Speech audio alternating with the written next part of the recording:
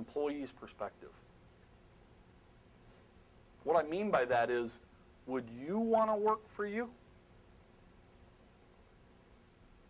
Would you really want to work for you?